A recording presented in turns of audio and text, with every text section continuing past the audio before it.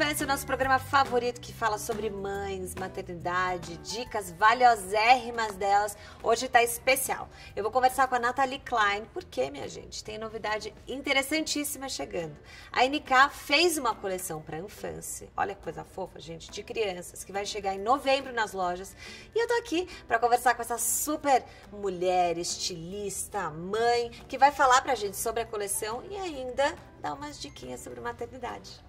Oi. Olá. Tudo bom? Tudo ótimo. A gente está no mesmo lugar, já te entrevistei aqui, né, Nathalie? Exatamente. No mesmo lugar, no mesmo horário, praticamente. tudo certo. Tudo bem? Três anos depois. Nathalie, vem cá, que novidade legal, né? Fazer essa coleção NK para infância. A Infância que é uma marca que já vem é, nesses tempos é, é, colocando para as crianças e para os bebês roupas legais, confortáveis, tem aquela coisa né, de, de ser boa para o bebê e para a mãe, de ser bom e bonito. E aí chega você com todo o seu DNA de moda e faz uma coleção com a Infância. Que Foi que muito legal. Depois que eu, fui mãe, que eu virei mãe, sempre tinha assim, esse desejo latente de fazer uma coleção de criança, porque realmente o universo ele começa a olhar para outras direções. Então, é, em viagem, a primeira coisa é olhar roupa para criança. O que eu adoro fazer é ficar pesquisando coisas, roupas para criança. E o meu trabalho é em segundo plano, sempre. E aí fica essa coisa, essa vontade o tempo todo de fazer essa, essa coleção infantil. E quando a Infância procurou a gente, foi muito legal, porque muitas, muitas empresas já procuraram a gente para fazer parcerias, mas a Infância tinha essa coisa, esse diferencial. A matéria-prima deles é muito bacana, o acabamento deles é incrível e vem muito a calhar com o que a NK preza muito. Uhum. Então, tem muita aquela coisa, ah, é roupa de criança, então pode ser qualquer coisa. A gente nunca quis fazer uma parceria com uma visão dessa. Sim. Ah, pode ser, a barra não precisa ser tão retinha, ah, não precisa ser esse acabamento, ah, não precisa ter esse botão que é super É porque a criança cresce, daqui é. a pouco não usa mais, as pessoas têm esse pensamento. Super. E a gente, eu nunca, nunca, nunca tive vontade de fazer uma coleção que fosse descartável para criança. Sim. E aí começou a se formar a coleção. E a minha premissa da, de montar essa coleção foi: eu gosto de criança com cara de criança, então eu nunca me imaginei fazer a cara de uma mini NK. Ai, que bom. É. Não, gente, porque criança adultinha é, não... não dá. Não, não dá. dá. Criança é criança. E aí, o que a gente pegou, a gente pegou várias referências da coleção da NK. Então, cartela de cor, as estampas, e transformou num, num universo infantil mesmo. Tem uma coisa lúdica desse, desse universo que eu acho que nunca pode ser descartada. Então não tem essa pompa, não tem uma roupa muito sofisticada, não é. As roupas são super bem feitas, mas tem cara de criança. Cara de criança. Como é que foi esse processo? Você é muito envolvida na NK, né? Todo o processo criativo tá nas suas mãos. Você fala que o trabalho tá em segundo plano, Imagina se estivesse em primeiro, né, minha gente? Porque mesmo com filho, com essa vida super corrida, você sempre tá de olho em tudo que vai uhum. pra loja, em toda a coleção e tal. Com a Anfans foi a mesma coisa? Com a Anfans foi a mesma coisa. A gente... Eu tenho uma equipe de estilo que é incrível uhum. e que as meninas dão super conta do recado. Mas eu acho que tem esse direcionamento para falar para onde a gente vai, qual vai ser ali. Então eu quero uma, uma, uma estampa uh, floral, que seja pequenininha, que seja nessas cores. Esses são os shapes da coleção. Eu acho que tem que ser esse DNA, que é uma coisa nova minha, que é ser mãe. Como que é, como que é a criança, o protótipo de criança perfeita? É, eu adoro que meus filhos, a minha filha use esses vestidinhos com tênis. Eu não uso muito sapatinho. Então, é muito legal essa coisa, essas espadrilhas, que é muito difícil de achar para criança. Muito. E a gente fez toda essa carinha muito legal. Então, é, claro que é um desafio, porque você, cria, você precisa criar uma identidade nova né? Não é a identidade de infância, também não é a identidade só da NK. Então, é um processo que a gente fez para fazer uma criação de uma coleção que você batendo o olho, você enxerga os traços da NK, mas está longe de ser uma, uma, uma miniatura de, de adulto. E o que, que, a gente pode esperar da coleção? É para menino e para menina? Para menino e para menina. E dentro dessa coleção tem essa coisa de ser uma menina que é um pouco mais desencanada, que não é uma menina muito, muito, muito princesinha é, então tem essa, eu tenho dificuldade de comprar de roupa, roupa de menina, porque normalmente roupa de menina vem assim, vem com babado, com bordados, com franjas estampadas. A criança então, nem se mexe, né, se gente? mexe, então é Consegue uma coisa brincar na festinha. Super, super engomada, assim. E a premissa da coleção foi isso, foi começar a fazer uma coleção que seja de uma criança mais cool, mais, mais descolada, né, mais descanada, mais real, né? Nathalie, e essa parte de mãe, acho que você anda descobrindo muito. Primeiro, em ter a Ava, quando veio uma menina, eu acho que o mundo é cor-de-rosa, da Nathalie pode ser um cor-de-rosa azulado, sei é. lá, mais cool, que acho que é diferente. E depois vem o um menino. E eles têm uma idade muito próxima, né? Eles têm um e oito de diferença. O que, que, mudou em você, assim, quando você foi mãe a primeira vez? A maternidade é realmente uma coisa que muda a dinâmica de qualquer ser humano. Então, eu acho que tem toda essa a partir das prioridades de qualidade de vida, que você começa a mudar teu universo completamente. E tem uma coisa que eu acho que quando você é mãe, você aprende a otimizar seu tempo para ter um tempo com eles. Então, eu delego muito mais coisas que antigamente a minha prioridade era NK uh, e eu tinha só isso. Eu tinha a minha vida eu me dedicava a NK. E eu acho que tem um equilíbrio que tem que ser feito de você poder se dedicar mesmo aos teus filhos. Então, eu me reorganizei inteira, reorganizei minha agenda, reorganizei todos os meus compromissos. Então, eu tenho uma agenda fixa com os meus filhos, eu almoço com eles duas, três vezes por semana. Duas vezes por semana? Duas, pelo menos de duas a três vezes por semana eu almoço com eles. Bom. Eu busco um na escola, eu levo outro na escola, que eles ainda estão em escolas diferentes. É, tem uma dinâmica que, assim, eu me preocupo muito em poder estar com eles. E também, eu acho que é, você cria uma confiança no seu time, porque é um, eu acho que é um ganha-ganha essa situação. Porque você delega e as pessoas, você dá esse empowerment para as pessoas e elas pegam isso. Então elas Sim. criam responsabilidade. Então eu acho que até para empresa é muito bom. Uhum. Porque elas assumem responsabilidades que antes eu estava sempre lá chocando o ovo. E tem uma hora que você está lá chocando o ovo muito mais para assumir responsabilidades do que para tomar decisão. Ah, a Nathalie estava junto, a Nathalie também viu, a Nathalie isso deu errado, mas a Nathalie estava... Eu acho que é muito bom quando você fala a, a, a, responsabilidade é sua, a decisão é sua. A empresa, ela toma um outro fôlego.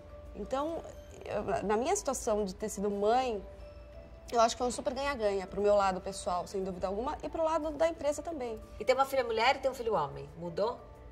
Olha, todo mundo falava, você vai ver as, a gravidez é completamente diferente de menino para menina. Foi nada. Foi idêntico. Foi idêntico. Foi super boa. Eu não tive nenhum problema na gravidez, não tive nenhum dia de enjoo. Trabalhei todos os dias até o último dia de ter bebê. A barriga era a mesma, não tinha aquela coisa da pontuda, da barriga pontuda, da barriga redonda. Falar, olhando de cima, minha barriga era igual. A não ser que alguém me visse de frente, mas de cima a barriga era idêntica. Era idêntica. Conseguia ver muita diferença. É, uma, tive as duas gravidezes super tranquilas. E, é, claro, o relacionamento de menino e menina é muito diferente. Eu falo que menina, mulheres, nós, é, a gente já dá um cansaço psicológico. Já. Desde que nasce. E menino tem um cansaço físico. Porque você cansa, que você corre atrás, vai sair correndo, é físico. Então, para uma mãe que tem um casal, fica exausta. Porque Por tem você tá magra. físico e psicológico. Tá magra, com a cabeça ótima, porque tá trabalhando psicológico, físico. Exatamente. Eu acho que nem sei quem tem só menino fica essa coisa física mesmo, de sair correndo, de pega e vai dar na beira da escada. Menina não é assim, menina tem um trabalho psicológico mesmo. Desde cedo, né? É tão impressionante o, o drama, o jeito que olha o mundo. O menino é mais prático, né? Menina, você, se você. Eu dou bronca nos dois que eu cheguei em casa, um dia a parede da minha casa estava inteira pintada de canetinha. Inteira. Oi? É, pintada de canetinha. Que legal. Foi ótimo. Que ótimo. Dizem agora os mais estudiosos que você não pode nunca tirar, é, desmotivar essa, esse lado artístico das crianças. Então foi um susto, mas foi, não, gente, tudo bem, né? Vocês pintaram a parede. Ok, um, a gente vai ter que pagar a parede. Foi uma, é, foi uma catarse artística, então vamos reconhecer a catarse. Tava bonito, é. assim, tava... e tem essa coisa, aí eu dei a bronca igual para os dois, chamei os dois, dei a mesma. Hum. Meu filho, em um minuto, tava pulando e me beijando de volta. Minha filha tem aquela coisa angustiada. De mulher. De mulher. De mulher. Isso eu ia perguntar, se é uma mãe brava, culpada, preocupada, divertida, tudo junto? Acho que tudo junto. Eu não sou muito brava. Não é? Não. E eu sou muito mais flexível do que eu imaginei que eu seria, assim. Sei, coração amoleceu. Eu sou super flexível. É... é... você olha a sua parede pintada e você dá aquela bronca é que eu acho. Eu acho que é, eu acho que ter filhos é a mesma premissa de qualquer relacionamento. Eu acho que você tem que ser inflexível nos valores principais. Né? No, no que você realmente não pode ceder, o que é certo e o que é errado. Isso você tem que ser inflexível. Agora, a flexibilidade, ah, não quer assistir o filme e tal, vamos assistir outro. Ah, tá bom. Ah, mãe, você cede muito. Ah, eu, eu ouço, ah, você cede muito para os seus filhos. Nessas coisas pequenas, é óbvio que eu vou ceder. Sim seja inflexível nos valores reais, né? Isso não pode, isso é errado, isso... Porque são poucos valores, são, são poucas regras, mas elas têm que ser seguidas. O resto, eu sou super flexível. O que, que você acha que você puxa muito dos seus pais, que você reflete totalmente nos seus filhos? Tem tanta coisa. Tudo. Tudo, tudo. Cada vez a gente fica mais parecido com os pais, né? Eu vou te falar, depois que a gente é mãe, a gente tem a, a, primeira pergunta é assim: será que meus pais gostavam tanto de mim quanto eu gosto dos meus filhos? Porque não é possível.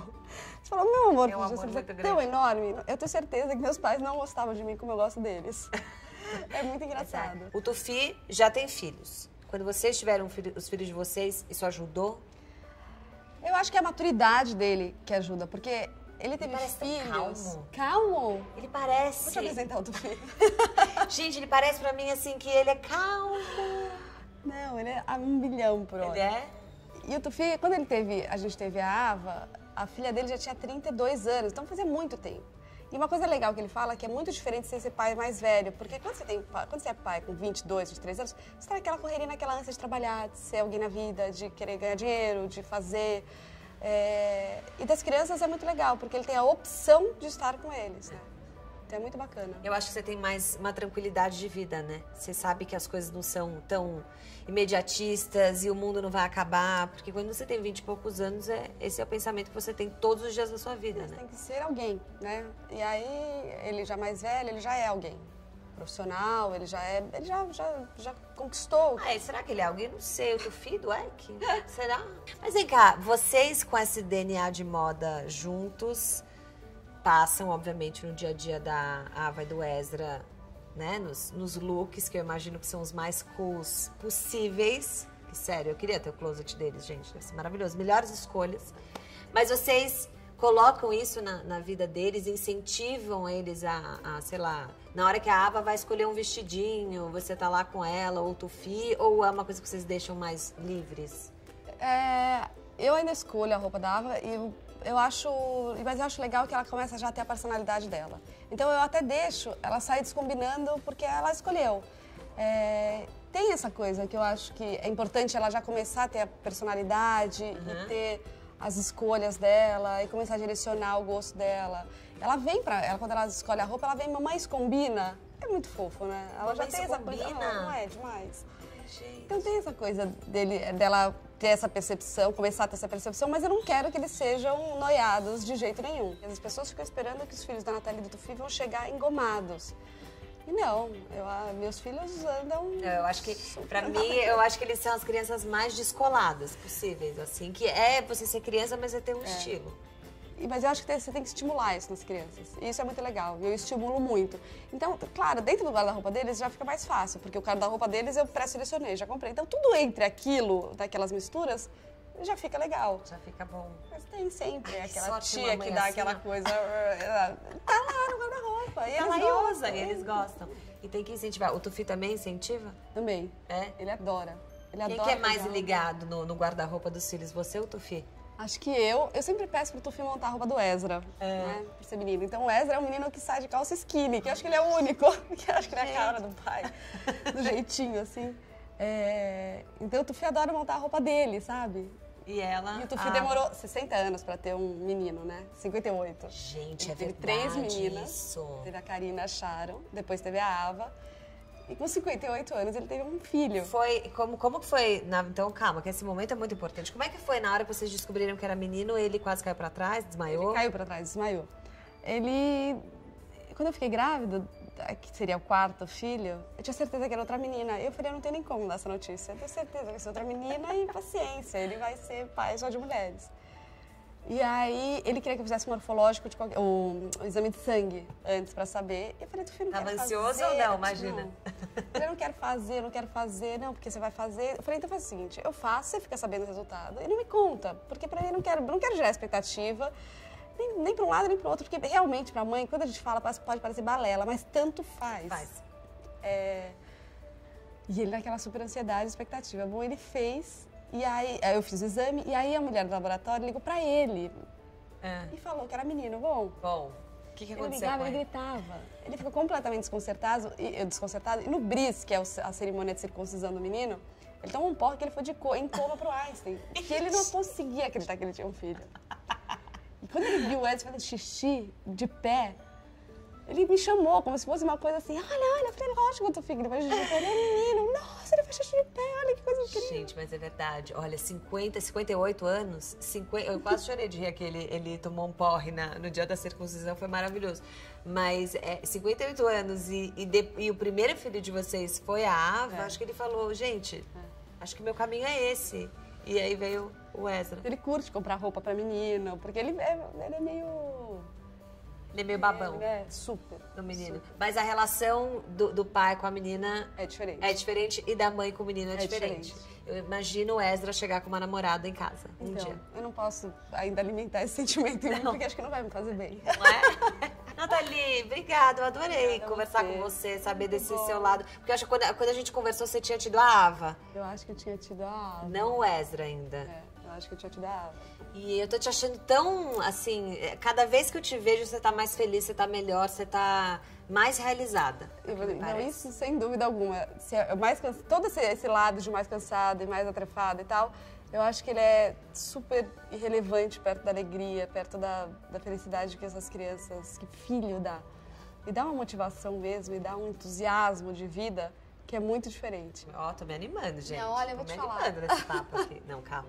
Mas eu gostei muito mesmo. Muito legal. E saber dessa novidade de, da, da NK com a que também é uma, uma novidade muito bacana, uma coisa legal e nova. E eu acho que vem com o DNA para as crianças, que é muito legal. Não, super legal. Eu mesma estou super ansiosa para ter, para ter, para os meus filhos terem as roupas, porque elas ficaram lindas. Lindas. Vai chegar em novembro nas Novembro. lojas? É Novembro. São Paulo e Rio. São Paulo e Rio e e-commerce. E-commerce da, da Anfans Nosso da Shop. Exatamente. de vocês da Anfans. Então, pera, São Paulo, Rio, e-commerce da Anfans, e-commerce da NK, vai ter Anfans por NK.